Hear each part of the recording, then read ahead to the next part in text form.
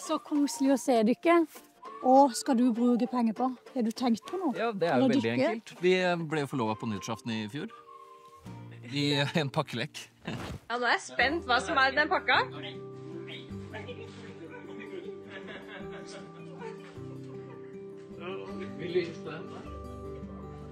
Skal vi se om det er nok til et eh, kommende bryllup her, da?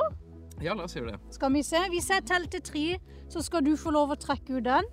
Én, to, tre, min venn. Oi! f-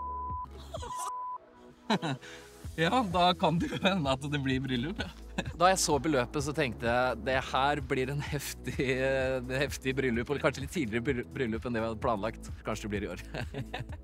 Ja, ja da blir det mitt også, da. Nei, men det er jo helt nydelig. Oi, oi, oi. Ja, altså Nå har vi jo på en måte begynt litt å planlegge på forhånd her, og da skulle det være litt sånn budsjettvennlig og, og litt nedpå. Men eh, nå får vi se, da, nå som vi har litt mer å bruke. Det blir kanskje Maldivene og kanskje en liten utenlandstur på et slott i Frankrike. Nei. Over en halv million kroner for det at eh, dere tenker på andre. Ja, og det er det jeg liker så godt med Postkodelotteriet, og det er derfor jeg bare har latt det gå. Fordi at vi støtter oss en veldedig sak.